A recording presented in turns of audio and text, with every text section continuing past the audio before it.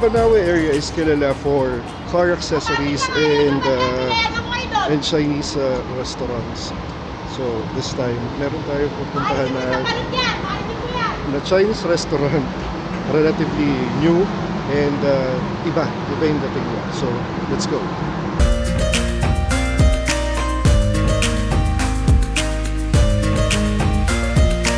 Grill po, Oo. either hot pot or grill po. Oo. Then 1,009 po, both hot pot and grill na po. Yung ano tayo, sir, do sa both hot pot and Both hot pot and grill na po. Ano po? Ano yung ano niya? Ano yung parang soup options? Ay, ito pala. po sir, four, four, four kinds of soup po. Mala soup po is spicy. Oo. Swan la soup po, hot and sour. Tomato po, matamis po siya. Yung plain po, broth po, yung pinakaluwa. Hindi, ako mag-ano ako eh, magmamala soup ako. Mala soup. Yes. Ikaw, Jairo, gusto mo yung medyo sour? Para po siyang sinigang na. O parang sinigang dyan. Sir, yung plain ba, ano? Ah, kumbaga, umami naman siya. I mean, meron siyang lasa na Yes. parang, o yung plain lang. O sige yung plain. Buo sa'yo. Yung tomato is medyo sweet daw. Yung swan. Or, Okay. So, ang order po, plain po, mala, and swan la. yes, yes. Thank you. Pwede na po kumuha po siya ng drinks niyo po, fruits, and ice cream, and pwede na po gumawa rin po ng sauce niyo. Okay, okay. Thank you, thank you. Kung mapapansin mo, hindi siya talaga traditional hot pot. Kasi di ba ang hot pot usually is uh, isang malaking bowl.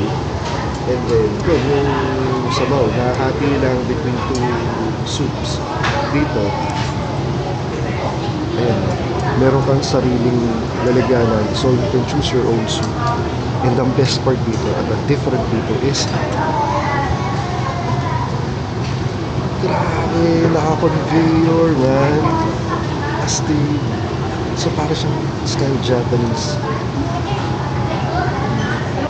Ito po, ah, yung may spring garlic po, spring onion, onion po, satay paste, sesame sauce, chili paste, black vinegar or stir sauce, red oil, and chopped chili po. Then ito po yung sesame oil and soy sauce.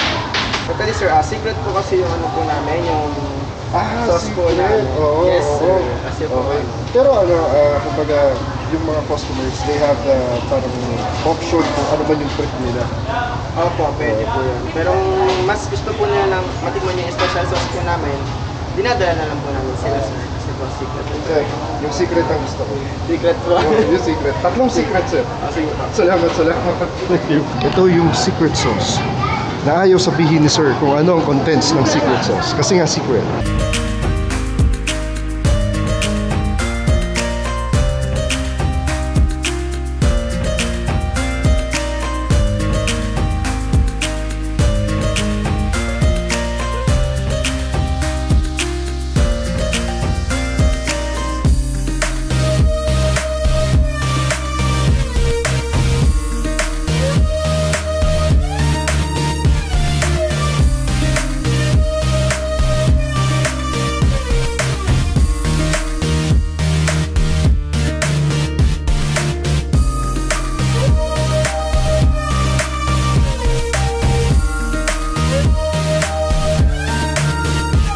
Oo. Oh.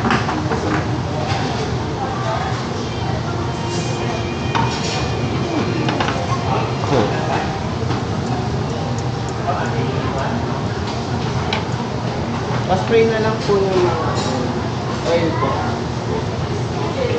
Pwede na. Ito po yung pangbubuha po. Bawal po siyang panloto kasi po goma po. Yes, yes. So ito po yung pangbubo po. Okay. Okay, thank you. Oh, sige, spray. Hindi, i-spray mo yun. Gitna. Ha? Gitna. Ha? Okay. Hindi mo alam kung saan mag-start. Natutuwa ka ba? Mukha na. Dapat na mukha mo. Ito yung spicy sauce nila. Titikman ko ito mamaya. Ayan. Napakadami nilang options. So, from meat, may tofu, may mga ah, parang balls, may vegetables, tapos may mga meat. Ayan.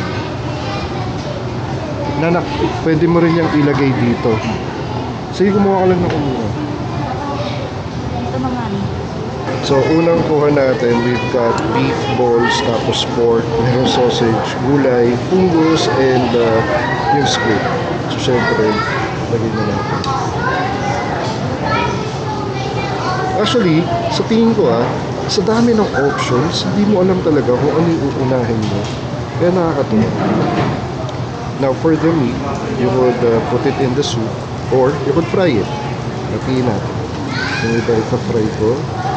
Then yung iba sa soup. Also the hot dogs. You could also fry it kung gusto mo. Or, sausage pa rin, hindi pala to hot dog. Or, you could put it in the soup as well. Ito kailangan bilisan lang natin kasi ano to. Uh, Como seafood, squid. Pag tinagalan natin ng pagluluto yan, uh, makunat. Tayo ng konting fungus. Who doesn't love mushrooms? Tapos gulay, lettuce. Mamaya yan, pang fiber natin yun. Kung trip natin na mag, ah, parang sangli, palaman-palaman na ano. Then, syempre, kailangan natin i-mix ang ating secret sauce na sila ang nag-concoct. Or you could also do your own. Lalo na kung talaga may preferred ka na ano ng hot pot.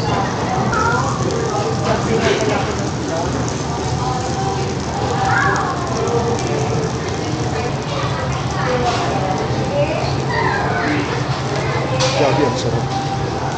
Sarap yung secret sauce na.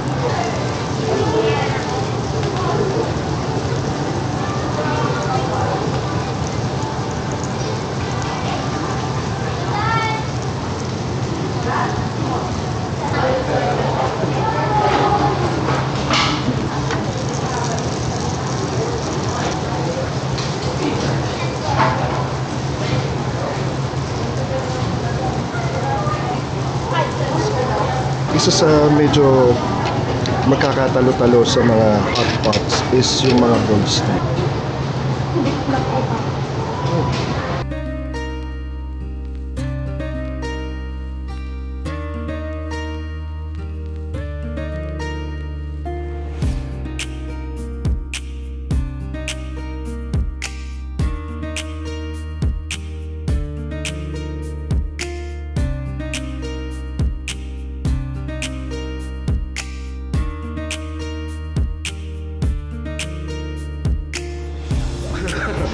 Bro, maraming salamat bro. Thank you, thank you. Yun.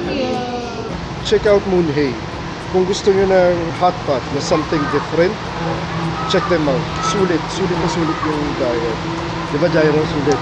Bukod doon sa nakakatawa ngayon conveyor belt nila na you don't have to order eh, each and every time na gusto kayong food. Yun, paikot-ikot lang yun. Tapos continuous ang pagre-refill nila. The staff is very attentive sa mga kailangan nila. And for me ha, yung presyo is very sulit naman. Kumbaga, if you're gonna get the, the hot pot and the grill, sulit na sulit yun. And uh, once again, maraming salamat sa pagsama. And as usual, stay safe guys.